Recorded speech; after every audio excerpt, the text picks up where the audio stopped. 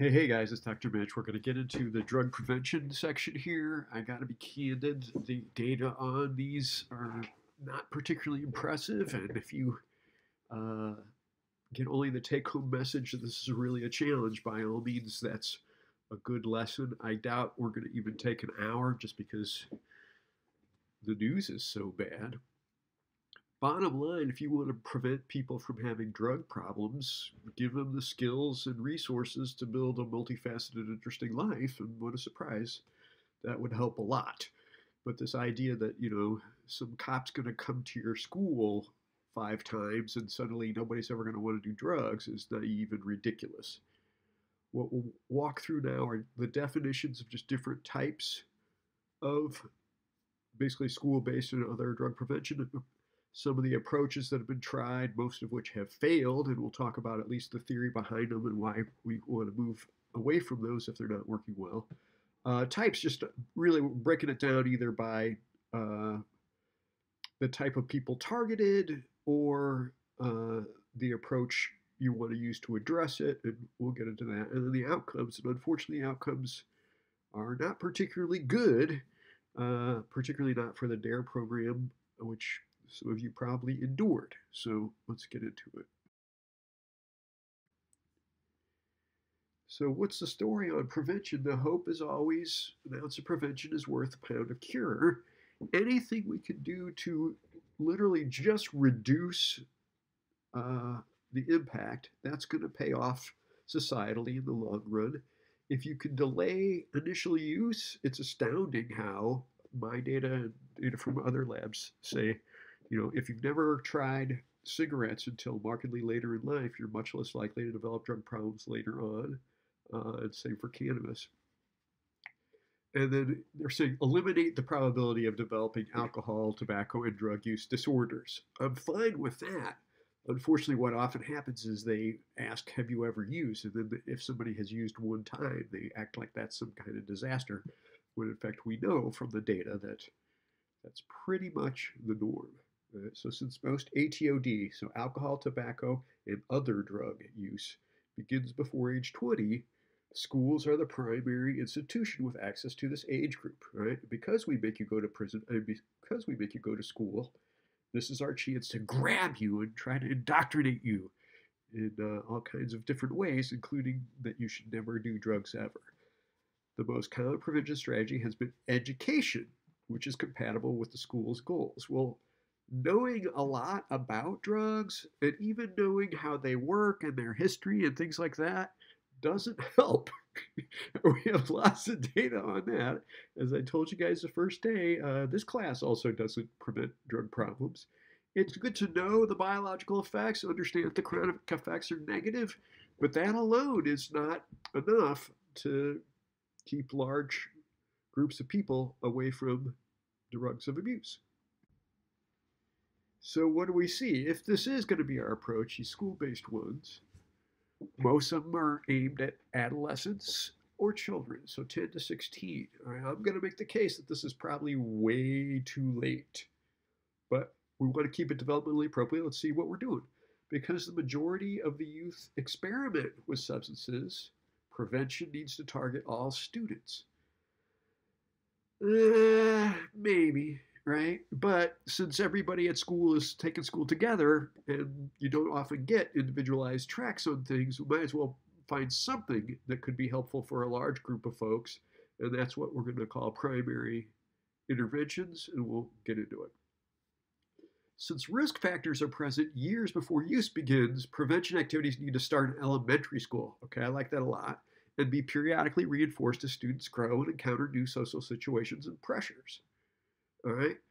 What we're actually finding out is if we teach people how to make good decisions, how to build a multifaceted life, help them improve relaxation skills, learn how to manage their time, things like that, what a surprise. Those are splendid buffers. But instead of saying, oh, and never do drugs and spending hours and hours on that, why don't we train folks in alternative behaviors, often drug incompatible behaviors, and have that go?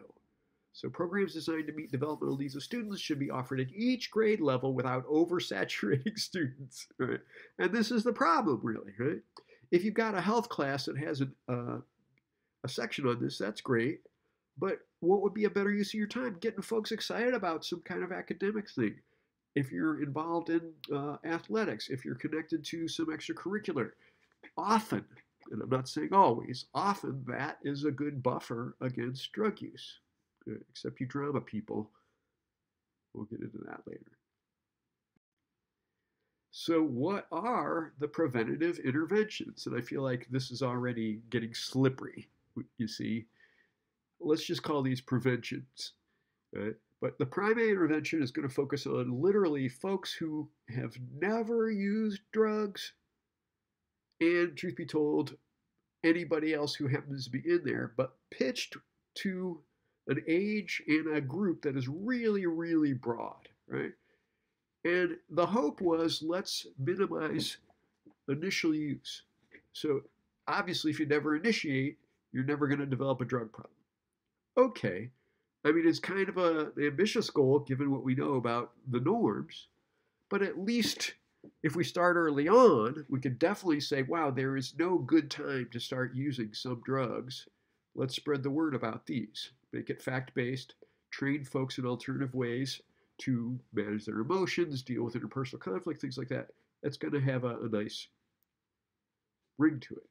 Secondary interventions. So these primarily focus on folks who've already experimented, right? Probably had their first puff from a cigarette or their first sip of beer something like that.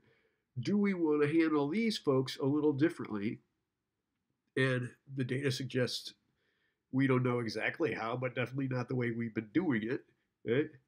And then tertiary is just these are folks who have already had drug problems. Either uh, they got arrested, which is always a fucking dreadful outcome, or they've showed you know symptoms of problematic use, DWI, uh, some kind of liver screen, you know anything like that that suggests that wow their their drug use is clearly maladaptive. We want separate interventions for those folks because you can imagine the primary interventions may not be news to them, so to speak.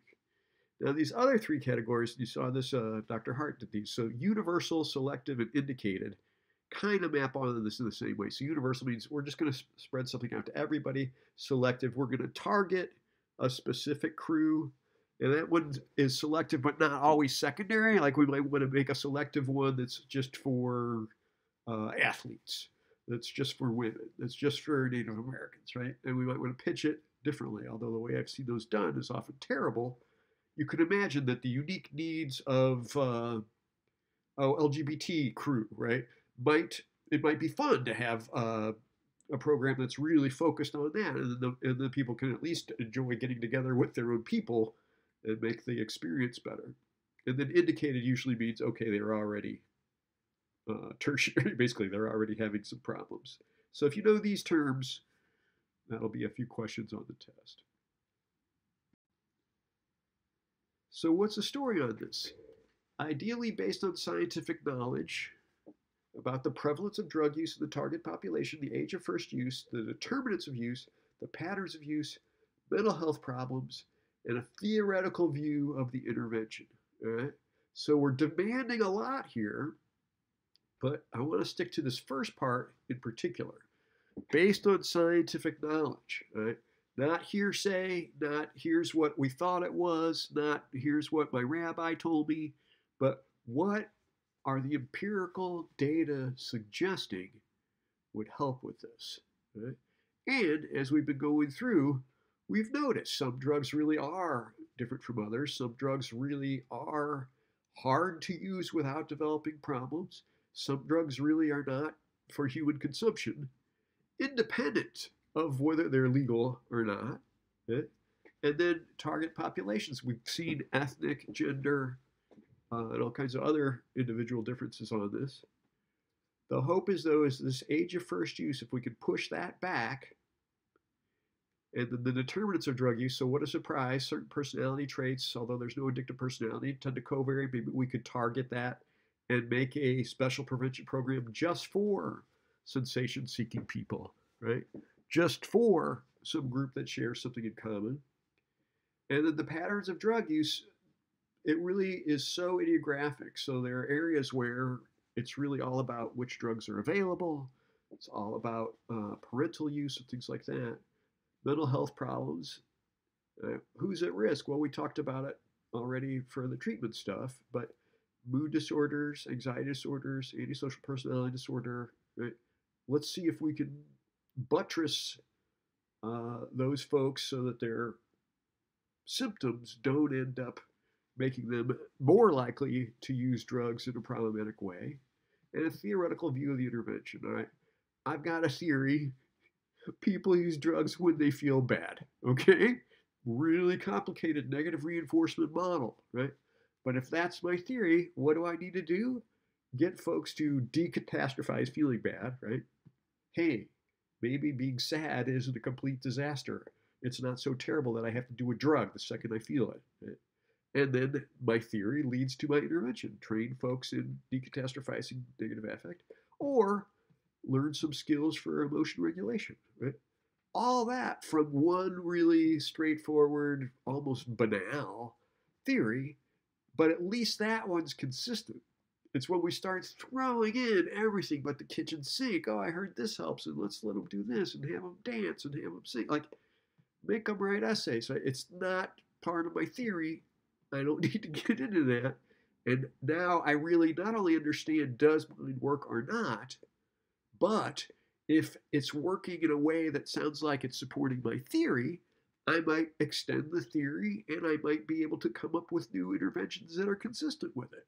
And that's what we really want to do. That's a good use of our time and money, as opposed to the let's just throw everything at the little buggers and see what happens.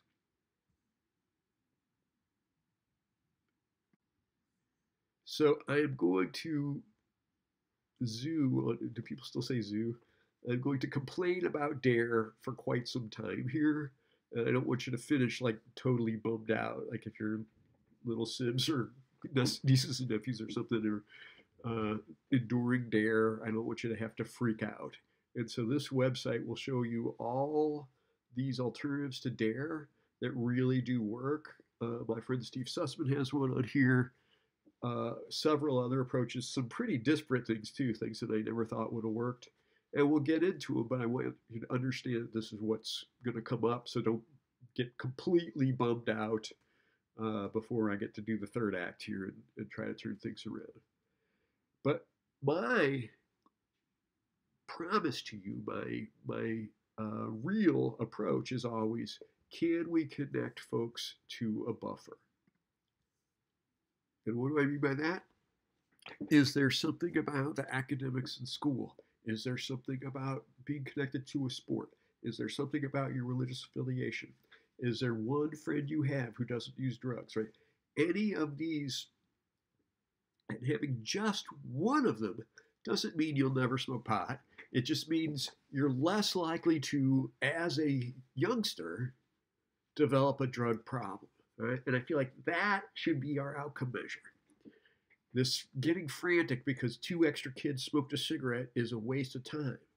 But who's running into trouble early in life? That's what we want to prevent in part because the intoxication experience impairs learning. And then if you don't get to develop these skills early on, it sends you on a bad trajectory down the line, right? If you don't finish high school, you're more likely to end up in jail. You're more likely to not earn a lot of money. You're more likely to be distressed, right? If it just get you through high school, oh my God, it's so great, right? Then yes, people with a college degree definitely do better than people who only have a high school degree in the long run on the average. And I know you all know exceptions, and hooray for those people, right? Now, going to grad school is maladaptive and ridiculous. And if you're considering it, please be sure to email me, but it's not going to help you earn more money, uh, particularly given how long it's going to take, right? And I hate to say it, Folks who go to college are more likely to smoke pot than folks who don't. So even going to college puts you at risk. Got to be careful. But my take home message is there are plenty of programs that do work even though DARE doesn't. And what makes this good? Well, in fact, I would say if it increases knowledge about drugs, that's nice, but that's not enough right? We all know those guys who could literally talk about all kinds of minutia about the neurotransmitters, but they're also really problematic drug users, so that alone's not going to work. Reducing the risk of drugs. Ding, ding, ding, ding, ding. Now, of course, I like this, but obviously it's a harm reduction thing, and it doesn't mean never using. So before they nail me to a cross on the cover of People magazine, let me just say one way to reduce the risk of drugs is to never do them. But as we talked about in the treatment, we could also decrease the quantity, decrease frequency, decrease problematic ways of administration, right? Anything we can do to buffer against negative consequences, that's, to me, a step in the right direction. And if the prevention program makes that happen, hooray. Now, delaying the onset of first use. I'm a big fan of this. And, you know, don't do as I did, do as I say. The longer you wait, the better it goes, right? not just don't wink and make, but like literally, if you don't ever use any drugs until you're 24 years old and your frontal lobe is all developed, things are going to go way better than if you start hitting it hard early in life. Reducing abuse of drugs, although we don't have that formal abuse definition like we used to, you know what I mean, right? Maladaptive use in a way that gets you in a lot of trouble even if you aren't necessarily dependent. So you might not have tolerance, you might not have withdrawal, but you get drunk once a week and have ill-advised sexual encounters and you know drive in unsafe ways and wake up on the front of your car with the keys in your ass right like you just don't want to have bad things happen even if they aren't necessarily part of a substance use problems diagnosis and then minimizing the harm caused by the use of drugs. Well, I feel like that's what reducing the risk is. Um, I'm thinking the prevention guys want to reduce the risk of ever using versus minimizing the harm if you do. And what makes this good? Well, in fact, I would say if it increases knowledge about drugs, that's nice, but that's not enough right? We all know those guys who could literally talk about all kinds of minutia about the neurotransmitters, but they're also really problematic drug users, so that alone's not going to work. Reducing the risk of drugs. Ding, ding, ding, ding, ding. Now, of course, I like this, but obviously it's a harm reduction thing, and it doesn't mean never using. So before they nail me to a cross on the cover of People magazine, let me just say one way to reduce the risk of drugs is to never do them. But as we talked about in the treatment, we could also decrease the quantity, decrease frequency, decrease problematic ways of administration, right?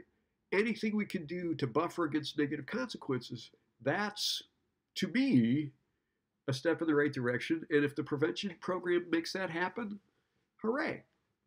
Now, delaying the onset of first use. I'm a big fan of this. And, you know, don't do as I did, do as I say. The longer you wait, the better it goes, right?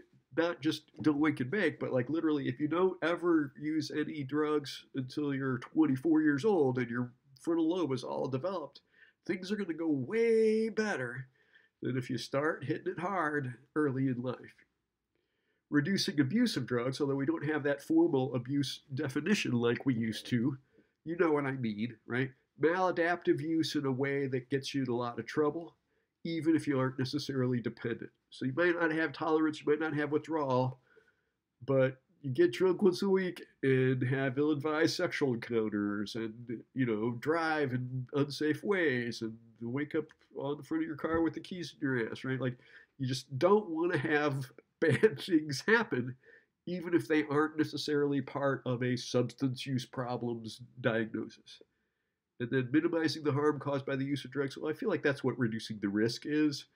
Um, I'm thinking the prevention guys want to reduce the risk of ever using versus minimizing the harm if you do. Well, so what do the good programs have in common? And the fact that I can even say good ones is a nice sign. Right? DARE does not work, we know, but there are some that really do. Now, as you might guess, they're time consuming, they're expensive. Somebody's really got to donate a lot of effort and money and time to make them happy, make them happen. And they aren't as popular as Dare. So this is my dilemma. So anytime, you know, you get a chance to talk DARE down and talk empirically supported treatments prevention efforts up, please do. So these are the key elements of the effective programs. First and foremost, empirically supported. Uh, what a surprise. That's how I know they're effective. It's not because my cousin's Johnny friend, nephew's major uncle said it works. It's we've got data showing it has worked multiple times in settings like the one I want to use it in. Accurate and developmentally appropriate info about drugs. Woo, man, can I jump up and down about this, right? Well, first of all, accurate. Think of all the lies you've probably heard about cannabis as a kid, and then as soon as you hear it, you lose credibility. You think these guys don't know what they're talking about, right? So then, you know, if I went in and said, oh, marijuana is a gateway drug, and then I say, oh, meth makes your brain rot, why would you listen to me? I just said a ridiculous marijuana is a gateway drug thing, right? So you lose your credibility and you lose the entire conversation unless you have accurate info and then developmentally appropriate. Right? Obviously, the intervention we want in fifth grade is going to be different from the one junior year of high school. But the fact that I even have to say that tells you how badly these can be fashioned sometimes. Right? Interactive delivery methods. Obviously, if you could go back and forth, right? If the leader is a group leader with a little bit of dynamic oomph, who's willing to listen and take questions and have you interact, what a surprise. Not only is the outcome better, well, not only is it a good time at the time, but the outcomes end up being better, right? So you're not bored, you're not falling asleep, and you get to ask the things that matter to you. All right, social influence model. Well, what we're finding out, what a surprise, is people who use a lot of drugs tend to think everybody else is using a lot of drugs. And it's often true in their little circle, right? So we have some normative control about this. So the normative education. Right? If you're smoking cannabis once a week, just once a week, 98% of the US smokes cannabis less than you, less often. And I'm sure that's startling, right? waking up to the idea that most folks not only don't have drug problems, they don't even use drugs. 30% of the US doesn't even drink alcohol, right? Getting that point across, right now, with some drugs, obviously cannabis, everybody's like, yeah, those guys are losers, and we're number one, you know, stuff like that. So I have to be careful with it. But the social influence notion of let's make sure you are connected to a community where use may be fine, but problematic use is something that you don't want to have. So the normative education is literally making people aware of the norms. Social skills training, it's funny how interpersonal conflicts are often splendid predictors of not only drug use, but relapse after you've had a good run of maintenance and if folks know how to handle their negative emotions, how to make assertive requests, how to decline unreasonable requests from friends, that's going to help a lot. And then the teacher training and support. Let's be honest. If these fucking paid better, they'd be better, right? If somebody could make 150 bucks an hour going school to school, making these presentations in an interactive, delightful, entertaining way, I mean, it'd be astounding, right? But no, instead we, you know, ugh, yeah, don't get me started. All right, enough of my ranting. We're gonna take a break right here, and then pick it up for prevention two. So, thanks for being along for the ride. Get yourself a little five minute break. Dance around if you need to. Listen to some music. Write yourself a couple of questions and we'll be good to go.